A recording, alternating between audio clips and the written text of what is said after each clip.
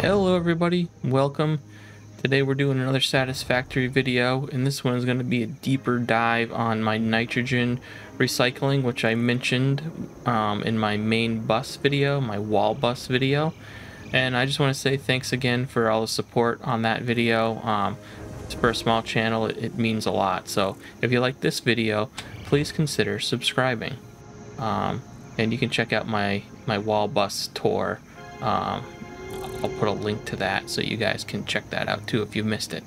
So this is nitrogen recycling, and um, it is a early way to uh, get your nitrogen going. Um, it uses drones and it uses uh, uh, packaged um, recyclers. So you need packaged nitrogen. So you need uh, you need canisters for it. So let's take a look at the map and we'll show you what I've got going on here. So uh, this is where I am right now. This is where my uh, nitrogen needs to come into the base. But the nitrogen is way up here, up in these cliffs, up in this jungle, which is where we're going to head to first. Uh, we're going to take a look at that up there, how that's set up. And then uh, the drones bring it in here. And then other drones bring it over here to actually put it on the wall and put it in the main bus. So um, let's take a look at where it all starts.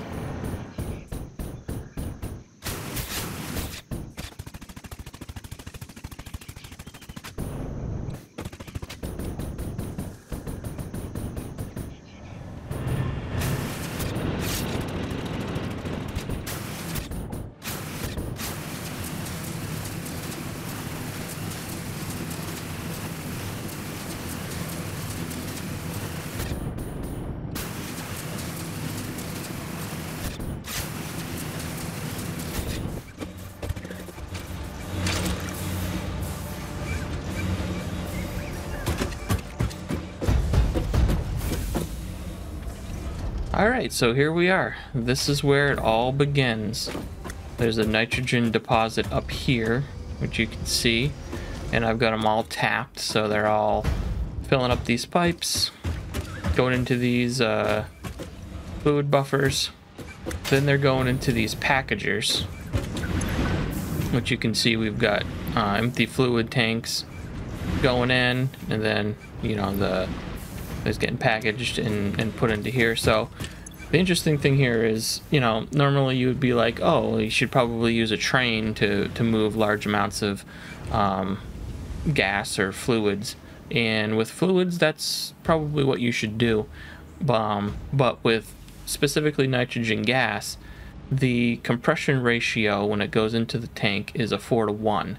So it's actually more efficient to package it then put it into, well, you could put it into a train car too. Um, but in this case, we're using drones because, you know, look at where the heck we are. We're way up here. So it's a lot easier to get a drone up here. I, I think that's, that's their intention because they kind of give you drones and nitrogen gas around the same point in the progression. So um, they kind of want you to experiment with the drones and um, and and this in nitrogen gas at the same time. So it packages it up it puts it into the uh, the the drone port, and then the drone comes in and it picks it up and it it pulls it away. Now I don't have this completely super efficient or anything like that. As you can see, this point we've only got um, 168 uh, nitrogen coming in, so you could uh, add. What you would want to do is add more empty canisters to this um, crate here that I have. So this the the canister empty canisters go from here into here, split out into the packagers. Then they go into here, and then the drone um, that brings the nitrogen to my main base then comes in with, and we'll see it in a second here, it comes in with empty canisters. So, um, you know, maybe we'll see them come in here. I'm not 100% sure. They might they might come super fast, but this should bring some empty canisters uh, back from the main base. And um, as soon as it, the drones do their uh, do their real slow docking maneuver, which is a little misleading. There they are. So that's the empty canisters. or flasks as they call them, going into here, then they go into here, then the drone picked up the existing uh, full canisters that were already in there. And that's how that works. Um, so basically, what you have to do is uh, make a bunch of um, flasks and um, put them in here uh, in order to get the whole process started. And you can do as many as you need. If you need 200 flasks um, per trip, if you need uh, 300 flasks per trip, however many you need or however many you want to um, put in here, you can uh, seed those into here.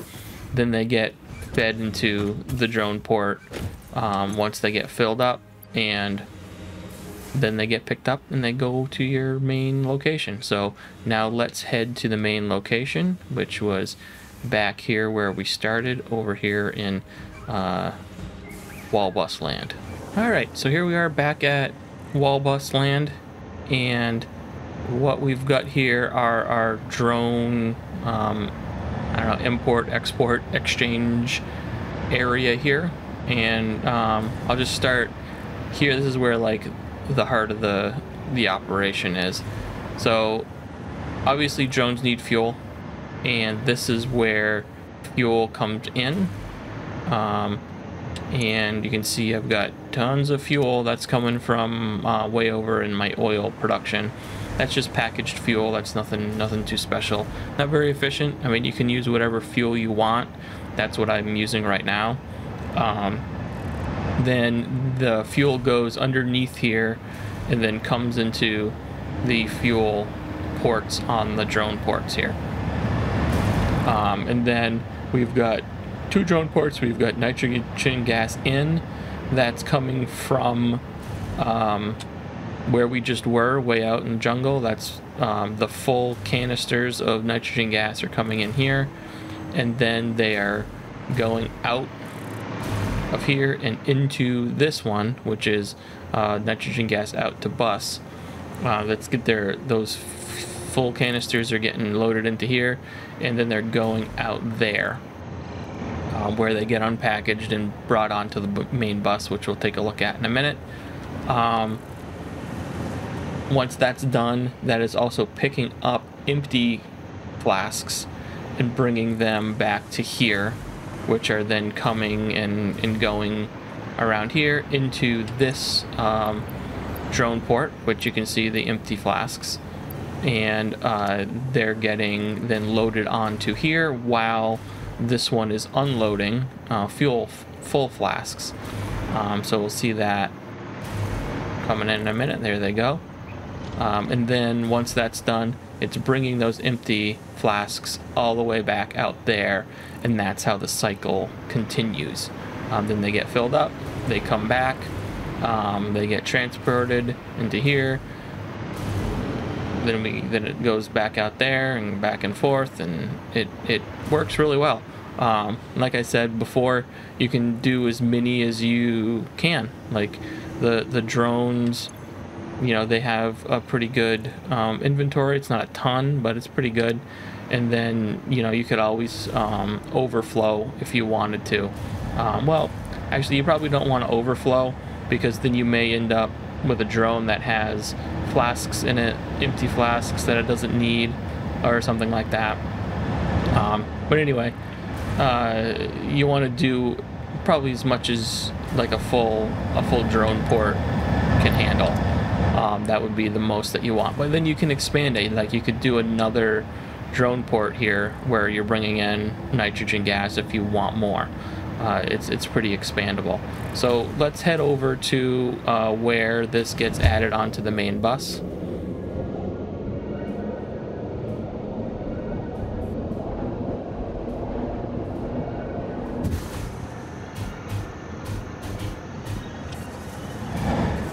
Alright, so here we are. Alright, so here we are uh, where this nitrogen gets added onto our main bus. And here we have the drone coming in.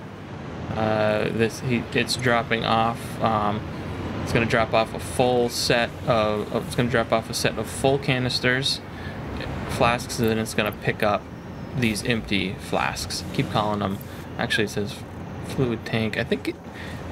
I think they get some naming things going on here that um, are really throwing me off. I just I'm usually just call them canisters, um, packaged nitrogen gas, uh, empty fluid tank. I think at one point they called them flasks somewhere along the way. Um, anyway, so you can see it's uh, picking up the empty ones, dropping off the full ones, and then they're getting processed here and um, getting ready to continue their journey. So the the packaged nitrogen gas comes out of here, gets split between these uh, packagers, which are actually unpackaging the gas. And you can see we're kind of getting backed up here. We're, we're producing more than we need, which is, you know, that should be okay.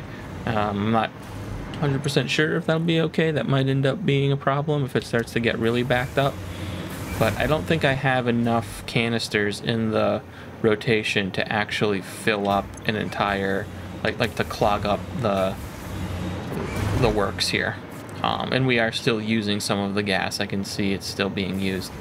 So these are configured to unpackage the gas the gas into you know an actual gas form, and then the empty canisters then put back into the drone port to get picked up when when the drone comes back. And we've got a fluid buffer here, uh, just to for for fun, I guess. You don't really need it necessarily, but we got it here.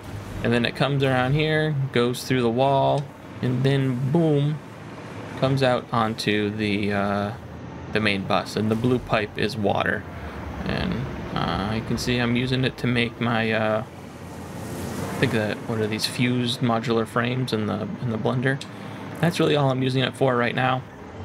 Um, but yeah, that's uh, that's the way I recycle the canisters, uh, recycle nitrogen. You know, it, this picks them up. This is where it actually finally comes, the final conclusion. Where it picks them up. New nitrogen comes in. Old flasks go out. Goes back over to the uh, depot there. Gets picked up by that other drone then flown all the way out to the, um, you know, the, the empty canisters get picked up by the drone here, flies out to the source, full canisters come back, come back to the depot, get transferred into this drone that's just leaving. It comes here, and the whole process starts over again, and it's been working really, really well. Once I set this up, I haven't needed to touch um, touch it at all. It just it just works consistently. Um, you know, it is a waste of fuel. You know, you know you are using fuel, but you know once you get enough fuel going, you don't really need to worry too much about um, about it all. But um, I hope I explained that well. I'm kind of you know just starting out with these kind of um, explainer videos, so if you guys got any questions, got any comments, uh, got any ways that I could maybe improve this, um, let me know. And yeah, if you like the video, please consider subscribing and we will see you next time.